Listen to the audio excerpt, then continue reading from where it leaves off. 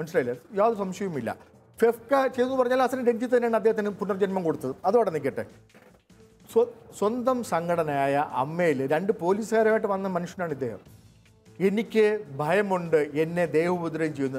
അമ്മ എന്ന സംഘടനയിൽ ആ അമ്മയിലുള്ള കലാകാരന്മാരുടെ ഒപ്പം അഭിനയിച്ച മലയാള സിനിമയിൽ നിന്ന ഒരു വ്യക്തിയാണ്. അദ്ദേഹം ഇങ്ങനെയൊക്കെ ഇൻസൾട്ട് ചെയ്തിട്ട് പോലും മമ്മൂക്ക അന്ന് കണ്ണുനീർ കരഞ്ഞുകൊണ്ടാണ് മമ്മൂക്ക പറഞ്ഞത്. അങ്ങനെ ചെയ്യരുത്. ആ പോലീസുകാരോട് പോകാൻ പറയണം.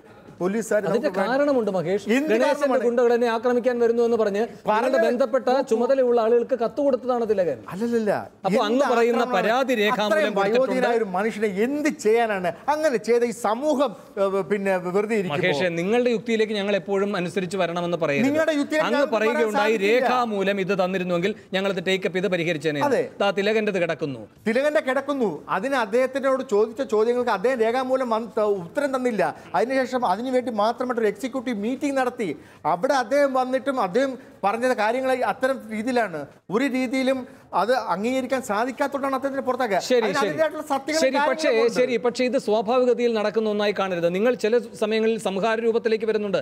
നിങ്ങൾ ദാ അമ്മ ഇടപെട്ടുകൊണ്ട് ഫെഫ്കയോട് പറയുന്നു പണം അഡ്വാൻസ് കൊടുത്തെങ്കിലും പോട്ടെ. അടുപ്പിക്കരുത്. അഭിനയിപ്പിക്കരുത്. ഇതൊക്കെയാണ് നിങ്ങളെ സംബന്ധിച്ച് നിങ്ങളെ നിങ്ങൾ ഈ ജനറൽ ബോഡിയിൽ കിട്ടുന്ന കത്ത് അതിന്റെ മേളിൽ. തൃപ്തികരമല്ലാത്ത വിശദീകരണം അതിന്റെ മേളിൽ. നീണ്ടുപോയ തീരുമാനം എന്നൊക്കെ പറയുമ്പോൾ ആളുകൾക്ക് വിശ്വസിക്കാൻ കഴിയാത്തത്. ഞാൻ താങ്കൾക്ക് താങ്കളേക്ക് തിരികെ എത്താം. സജിത മഠത്തിലും നടി ഡബ്ല്യു സി സി അംഗം ഇപ്പോൾ തത്സമയം ചേരുകയാണ്. സജിത എന്തുകൊണ്ട് ഈ രാജികൾ? ഇവിടെ ശക്തമായ നിലപാടെടുക്കാൻ കഴിയുന്ന പലരുമുണ്ടായിരുന്നു. കഴിഞ്ഞ എക്സിക്യൂട്ടീവിൽ തീരുമാനമെടുപ്പിക്കാൻ കഴിഞ്ഞത് മൂന്ന് പേർ കർക്കശമായ നിലപാടെടുത്തതോടെയാണ്. രമ്യ പൃഥ്വി ആസഫിൽ അല്ലേ? മൂന്ന് പേർ. ഈ മൂന്ന് പേർ ശക്തമായ നിലപാടെടുത്തതോടെ ഈ പറയുന്ന ആസിഫ് അലി. തമ്പുരാക്കന്മാർ അവരുടെ നിലപാട് മാറ്റേണ്ടി വന്നു.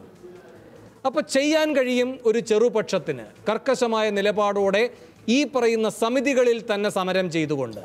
ആ സാധ്യത എവിടെ വെച്ചാണ് വേണ്ട എന്ന് നിങ്ങൾക്ക് തോന്നിയത്?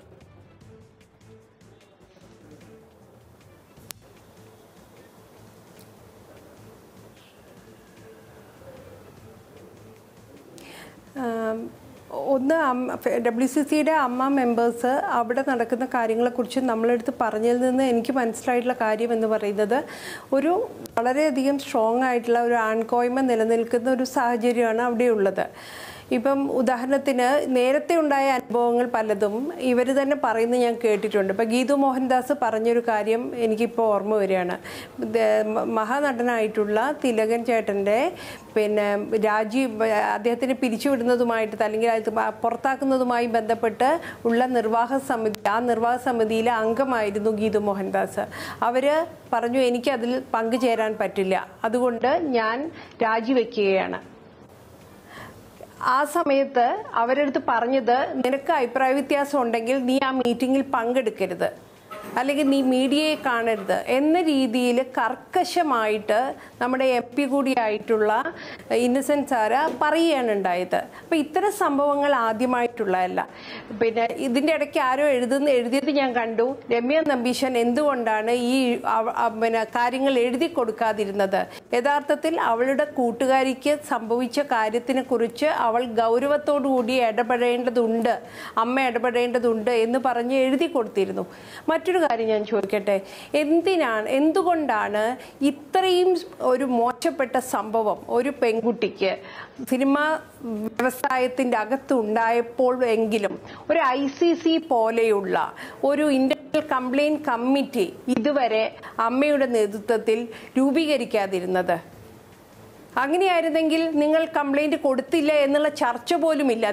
ഒരു അഭിപ്രായ വ്യത്യാസം എനിക്ക് ഇങ്ങനെ ഒരു സംഭവം ഉണ്ടായി എന്ന് എനിക്ക് പറയുമ്പോൾ അതിനൊരു വ്യവസ്ഥയുണ്ട്. ഞങ്ങളെല്ലാവരും പല ഓർഗനൈസേഷനിൽ വർക്ക് ചെയ്യുന്ന ആളുകളാണ്. നമുക്കറിയാം എനിക്ക് എന്റെ ഓർഗനൈസേഷനിൽ എന്തെങ്കിലും പ്രശ്നമുണ്ടെങ്കിൽ ഞാൻ എവിടെയാണ് കത്ത് കൊടുക്കേണ്ടത്? അതിനൊരു സിസ്റ്റം ഉണ്ട്.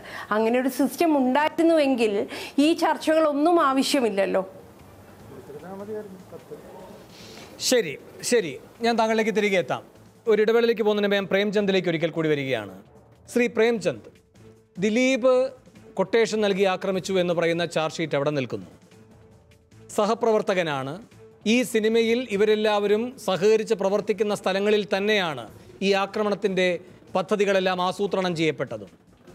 അപ്പോൾ ഇതെല്ലാം ഒരു തരത്തിൽ പറഞ്ഞാൽ ഒരു സ്ഥലമഹസറിന്റെ രൂപമാണ്. ഇവർ ലൊക്കേഷൻ എന്ന് പറയും. നമ്മെ സംബന്ധിച്ചത് ഈ പറയുന്ന പരിപാടികളെല്ലാം നടത്താൻ ആസൂത്രണം ചെയ്യാൻ ആലോചിച്ച കൃത്യസ്ഥലങ്ങൾ തന്നെയാണ്. ആ ഘട്ടമാണ് നാം കണ്ടത്. അതാണിപ്പോൾ നീതിന്യായ പീഠം പരിശോധിക്കാൻ തുടങ്ങുന്നത്. പക്ഷേ അതിനുശേഷം ഈ ഡബ്ല്യു സി സി എ അല്ലെങ്കിൽ ഈ ഡബ്ല്യു സി സിയിൽ കൂടി അംഗമായിരിക്കുന്ന അമ്മയിലെ അംഗങ്ങളെ സംഘടനാ ബലം കൊണ്ട് ഇവർ നേരിട്ട വിധം ഒരുതരം പരോക്ഷാക്രമണത്തിന്റെ സ്വഭാവമുള്ളത് തന്നെയായിരുന്നില്ലേ? അതാണ് അവർ വീണ്ടും വീണ്ടും പറഞ്ഞുകൊണ്ടിരിക്കുന്നത്. അത് ആ സംഘടന മാത്രമായി പരിഹരിക്കേണ്ട ഒരു പോരായ്മയല്ലാതെ അത് ഈ സമൂഹം ചർച്ച ചെയ്ത് ഈ സംഘടനയെ കൊണ്ട് നിർബന്ധിച്ച് തിരുത്തൽ വരുത്തിക്കേണ്ട ഘടകങ്ങളല്ലേ? ഫാൻസ് അസോസിയേഷനുകൾ വഴി നടത്തിയത്. മസിൽ പവർ ഉപയോഗിച്ച് നടത്തിയത്. ഈ പറയുന്ന താര ഷോയിൽ ഈ പറയുന്ന സ്കിറ്റ് എന്ന രൂപത്തിൽ ഈ മോഹൻലാൽ അടക്കം നിന്ന് കാട്ടിയ ആഭാസങ്ങൾ. ഇതൊക്കെ ഒരു രൂപത്തിൽ അല്ലെങ്കിൽ മറ്റൊരു രൂപത്തിൽ ഇവർ നൽകിയ സന്ദേശമാണ്. അതിന്റെ അവസാനത്തെ തുല്യം ചാർക്കൽ മാത്രമല്ലേ ഈ സാങ്കേതിക ന്യായം പറഞ്ഞ് ദിലീപിനെ വീണ്ടും അവിടെ പിടിച്ചിരുത്തിയത്? കൃത്യമായും കൃത്യമായും അത് തന്നെയാണ്. അതിന്റെ ഉത്തമമായ ഉദാഹരണമായിരുന്നു അമ്മ ഷോയിൽ നടന്ന ആ സ്കിറ്റ്. ഇത്രയും സ്ത്രീവിരുദ്ധവും മനുഷ്യത്വ വിരുദ്ധവുമായിട്ടുള്ള ഒരു സ്കിറ്റ് സ്ത്രീകളെ കൊണ്ട് തന്നെ അമ്മയിലെ നടിമാരായ സ്ത്രീകളെ കൊണ്ട് തന്നെ അവതരിപ്പിച്ച് പൊതുസമൂഹത്തിന്റെ മുമ്പാകെ. വിക്ഷേപിക്കാൻ ഇടവരുത്തിയിരുന്ന ഒരു ഒരു മെന്റൽ മേക്കപ്പാണ് ഈ മെന്റൽ മേക്കപ്പ് എന്ന് പറയുന്നത് തന്നെ അടിസ്ഥാനപരമായിട്ട് സ്ത്രീവിരുദ്ധവും മനുഷ്യത്വ വിരുദ്ധവുമായിട്ടുള്ളൊരു കാര്യം മാത്രമാണ്. ഇതുകൊണ്ട് തന്നെയാണ് ഇത്തരം നിലപാടുകൾ വളരെ സ്ട്രോങ് ആയിട്ട് നിലനിൽക്കുന്നതിനെ കൊണ്ടാണ് നേരത്തെ സജിത പറഞ്ഞ ഒരു ഹരാസ്മെന്റ് സെല്ല് ഒരു കാലത്തും ഈ ഇഷ്യൂ ആക്രമിക്കപ്പെട്ട നടിയുടെ ഇഷ്യൂ ഉണ്ടായിട്ട് പോലും അങ്ങനെ ഒരു സെല്ല് രൂപീകരിക്കാൻ അമ്മ നേതൃത്വമോ അതിൽ ഒരാൾക്ക് പോലും അങ്ങനെ ഒരു ബോധമില്ലാതെ പോയത് ഈ ഒരു ജനാധിപത്യ വിരുദ്ധമായിട്ടുള്ള ഒരു ഫാസിസ്റ്റ് ടെൻഡൻസി ഈ സംഘടനയിൽ നിലനിൽക്കും നിലനിൽക്കുന്നുകൊണ്ടാണ്. ശരി ഞാൻ ഒരു ഇടവേളയിലേക്ക് കൊടുക്കുകയാണ് ഇടവേളയ്ക്ക് ശേഷം മറ്റു അതിഥികളുടെ പ്രതികരണങ്ങളിലേക്ക്.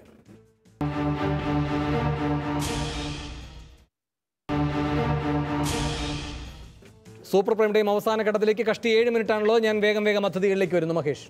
നോക്കിപ്പോൾ പ്രേംചന്ദ് പറഞ്ഞില്ലേ നിങ്ങൾ ആ സ്കിറ്റ് കാണണം. അത് എഴുതി ഉണ്ടാക്കിയത് സ്ത്രീകൾ തന്നെയാണ്. കുക്കു പരമേശ്വരന്റെ നേതൃത്വത്തിലാണ് ആ സ്കിറ്റ് ഉണ്ടാക്കിയത്. അതാണ് പ്രശ്നം. അല്ല പറയട്ടെ പറയട്ടെ. പ്രശ്നം. അല്ല പ്രശ്നം എന്ന് പറയട്ടെ കാര്യം പറയട്ടെ. നിങ്ങൾ അത് ഓൺലൈനിൽ കാണാം.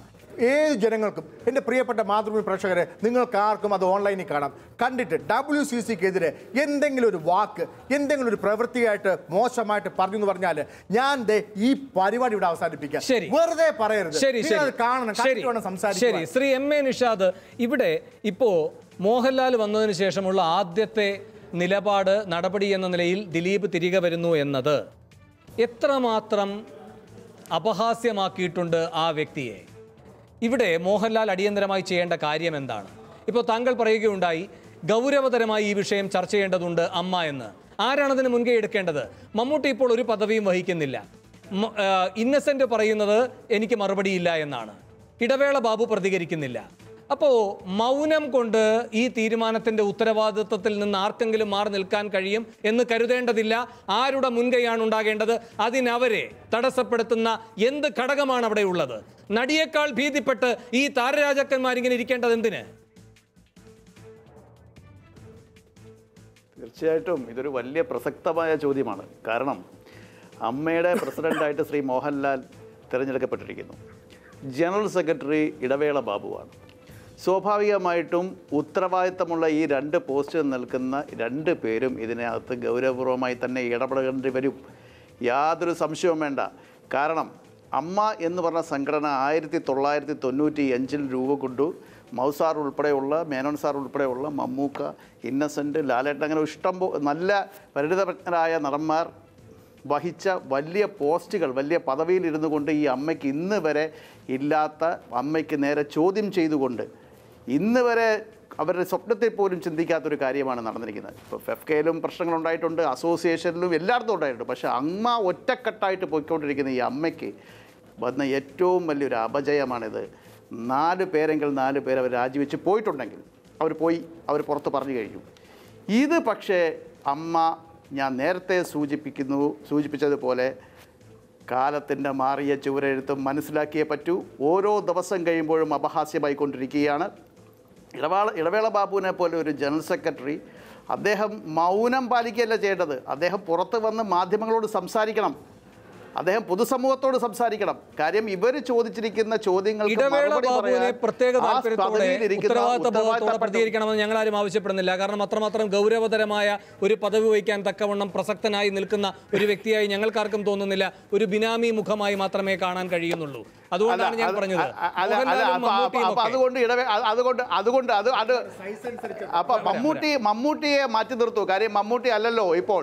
മമ്മൂട്ടിയോ ഇന്നസെന്റോ അല്ലല്ലോ. ഇപ്പോ ഉള്ള ഇപ്പോ ഉള്ള നേതൃത്വം മോഹൻലാലിന്റെ നേതൃത്വത്തിലാണ്. ആ അദ്ദേഹം പ്രസിഡന്റ് ആയിരിക്കുമ്പോൾ ആ സംഘടനയുടെ ജനറൽ സെക്രട്ടറി ഇടവേള ബാബു അത് ആരോ ആയിക്കോട്ടെ. നമ്മൾ കുറച്ച് കാണണ്ട ഒരു സംഘടനയുടെ ജനറൽ സെക്രട്ടറിയാണ്. ഏറ്റവും കാതലായ പോസ്റ്റാണ്. മമ്മൂട്ടി മാറി വന്ന മാറിപ്പോൾ മാറിയപ്പോൾ വന്നത് ഇടവേള ബാബുവാണ്. ആ തെരഞ്ഞെടുപ്പൊക്കെ യാദൃച്ഛികമാണെന്ന് കരുതാൻ. കഴിയില്ല. ആസൂത്രിതമാണ്. എന്തുകൊണ്ട് ഇടവേള ബാബു? ഇപ്പൊ നമുക്ക് മോഹൻലാലോ മമ്മൂട്ടിയിലോ അർപ്പിക്കാൻ കഴിയുന്ന ഒരു ഉത്തരവാദിത്ത ബോധം നമുക്ക് പ്രതീക്ഷിക്കാൻ കഴിയില്ല. ഈ വിഷയം ഉന്നയിച്ചത് ഊർമിള ഉണ്ണി. ഊർമിള ഉണ്ണി ഇതിനു മുൻപ് മലയാള സിനിമയുമായി ബന്ധപ്പെട്ട് ഗൗരവതരമായി ഉന്നയിച്ച ഏതെങ്കിലും ഒരു വിഷയം? നമ്മുടെ മുന്നിലുണ്ടോ? പരിഗണനാർഹമായ എന്തെങ്കിലും? അപ്പൊ ഇതൊക്കെ ആസൂത്രിതമാണ്. ഇതൊക്കെ ആസൂത്രിതമാണ്. ഒരാൾ പല രൂപത്തിൽ പ്രവർത്തിക്കുന്ന ഒരു സംവിധാനത്തിന്റെ പേരാണ് അമ്മ. ഞാൻ താങ്കളേക്ക് തിരികെ വരാൻ കഴിയുമെന്ന് എനിക്ക് തോന്നുന്നില്ല. ഞാൻ ഇടപെടുകയാണ്. അഡ്വക്കേറ്റ് ആശ ഇവിടെ ഉപാധികളോടെയാണ് ജാമ്യം. അതിലൊന്ന് ഈ പറയുന്ന കേസിനെ സ്വാധീനിക്കുന്ന വിധത്തിൽ ഇടപെടരുത് എന്നാണ്. നേരിട്ട് ഈ വ്യക്തി ചെയ്യുന്നില്ല. പക്ഷേ സാക്ഷിമൊഴികൾ നൽകേണ്ട ഏറ്റവും പ്രധാനപ്പെട്ട ആളുകൾക്ക് ഈ നടപടിയിലൂടെ ഈ സംഘടന നൽകുന്ന സന്ദേശം എന്താണ്? അധികായൻ അകത്തിരിക്കുന്നു അനാഥ പുറത്തു നിൽക്കുന്നു എന്ന് തന്നെയല്ലേ? തീർച്ചയായിട്ടും ഈ സംഘടന ഇപ്പോൾ ചെയ്തിരിക്കുന്ന സംഗതികളെല്ലാം തന്നെ ഈ നടിക്ക് എതിരാണ്. അവൾക്കൊപ്പമല്ല എന്ന് കൃത്യമായി പറയുകയാണ്. ഒരു നടികൾക്കും ഒപ്പമല്ലാത്തത് കൊണ്ടാണല്ലോ ആക്ടിംഗ് കൗച്ച് വരെ ഉണ്ടാകുന്ന ഒരു ഇൻഡസ്ട്രി ആയിട്ട് മലയാളം ഇൻഡസ്ട്രി മലയാള സിനിമാ വ്യവസായം മാറിക്കഴിഞ്ഞത്. അപ്പം ഇതിൽ ഏറ്റവും പ്രസക്തമായ സംഗതി നാല് നടികൾ പുറത്തു വരുമ്പോൾ അത് ഞങ്ങൾക്കൊരു പ്രശ്നമില്ല. നി- ഞങ്ങൾക്കിവിടെ സംസാരിക്കാൻ പറ്റുന്നില്ല. ഞങ്ങൾക്കിവിടെ ജനാധിപത്യമില്ല. ഞങ്ങൾക്കിവിടെ നീതി ലഭിക്കുന്നില്ല. അതുകൊണ്ട് ഞങ്ങൾ പുറത്തു പോകുന്നു എന്ന് പറയുമ്പോൾ അവർ പോണെങ്കിൽ പോട്ടെ ഇവിടെ നീതിയൊന്നും ഇല്ല നീ ഞങ്ങൾ ഉദ്ദേശിച്ചിട്ടില്ല ഞങ്ങൾ അവ- അവന്റെ ഒപ്പം തന്നെയാണ് ആ രീതിയിലുള്ള ആൾക്കാരെ കൂടെയാണ് തീർച്ചയായിട്ടും വരുന്നുണ്ട്. തീർച്ചയായിട്ടും പരോക്ഷമായി വളരെ കൃത്യമായി ഇത് ആ രീതിയിലേക്ക് തന്നെയാണ് പോകുന്നത്. ഇത് പല രീതിയിൽ ദൂരവ്യാപകമായിട്ട് കേസിനെ മാത്രമല്ല ഈ താരങ്ങളെല്ലാം കൂടി ചേർന്ന് ഇപ്പോൾ ഈ സ്കിറ്റിറക്കിയ സംഗതി. ഇതൊക്കെ എന്താ ഇൻഡീസിന്റെ റെപ്രസെന്റേഷൻ ഓഫ് വിമൺ ആക്ടിന്റെ പരിധിയിൽ വരുന്ന സംഗതിയല്ലേ? ഇവരൊക്കെ എന്ത് തമ്പരാക്കന്മാരെ എങ്ങനെ ഇരുന്നൊക്കെ പോകണം. സജിത മഠത്തിൽ ഇവിടെ മഹേഷ് പറയുകയാണ് ഈ പരിപാടി വെച്ച് അവസാനിപ്പിക്കാം. നിങ്ങളെ അധിക്ഷേപിക്കുന്ന തരത്തിലായിരുന്നു ആ സ്കിറ്റ് എങ്കിലെന്ന്.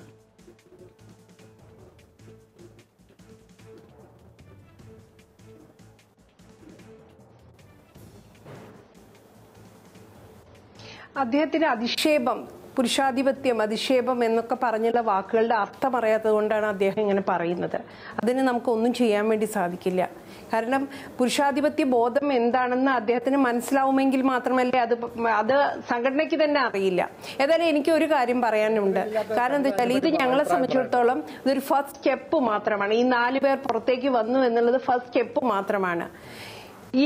ഇനിയും അമ്മ ഇതിൽ നിന്ന് ഒരു സന്ദേശവും ഉൾക്കൊള്ളുന്നില്ലെങ്കിൽ കാര്യങ്ങൾ കുറേ കൂടി മോശമായ ശരി ശരി അവസ്ഥയിലേക്ക് ശരി. പോകും. അവസാനമായി കുറേ ഞാൻ മഹേഷിലേക്ക് പോവുകയാണ്.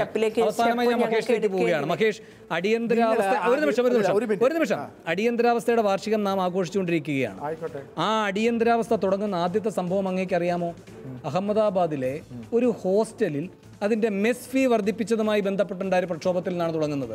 നാം വിചാരിച്ചില്ല അത് ഇന്ത്യയെ മുഴുവൻ പിടിച്ചു കുലുക്കുന്ന ഒരു വലിയ പ്രക്ഷോഭമായി മാറുമെന്ന്. ആരെയും ചുരുക്കി കാണരുത്. ആരെയും ചുരുക്കി കാണുന്നില്ല. ആരെയും ചുരുക്കി നിങ്ങളും കാണരുത്. നിങ്ങൾ ചുരുക്കാൻ ശ്രമിച്ചാലൊന്നും ചുരുങ്ങുന്നതൊന്നും അല്ലെന്ന് ഞങ്ങളുടെ സംഘടന ഈ നാലുപേര് വിചാരിച്ചാലും ചുരുങ്ങില്ല അവരാരും അവിടെ നല്ല സൽപ്രവൃത്തി ചെയ്തിട്ട് ഈ ഇവൾക്കൊപ്പം ഇവൾക്കൊപ്പം. ഇവൾക്ക് വേണ്ടി എന്ത് ചെയ്തു ഇവർ ആരും തെളിയിക്കട്ടെ. പിന്നെ ഈ ഈ ഞാൻ നേരത്തെ സനൂഷയുടെ കാര്യം പറഞ്ഞില്ലേ? കാര്യം പറഞ്ഞില്ലേ? ഒരുപാട്. പേർക്കെതിരെ ഇവരെന്ത് ചെയ്തു?